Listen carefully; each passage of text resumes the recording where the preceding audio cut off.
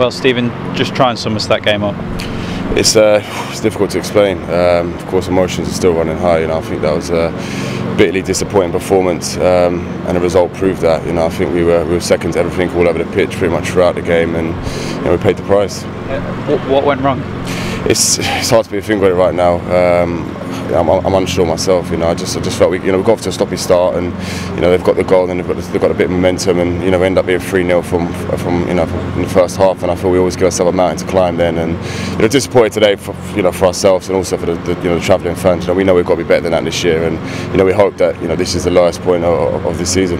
I imagine you knew it was going to be difficult being a, a, former Spurs player yourself, but you didn't have you didn't know it would be that difficult. No, I mean you know they were a good side, but I think a lot of it was down to us. Um, you know just a poor poor showing today. There's, there's no excuses, no hiding. Um, I think we have to we, have to, we definitely have to go and be better against uh, Sunderland at home. Uh, and what was said at half time?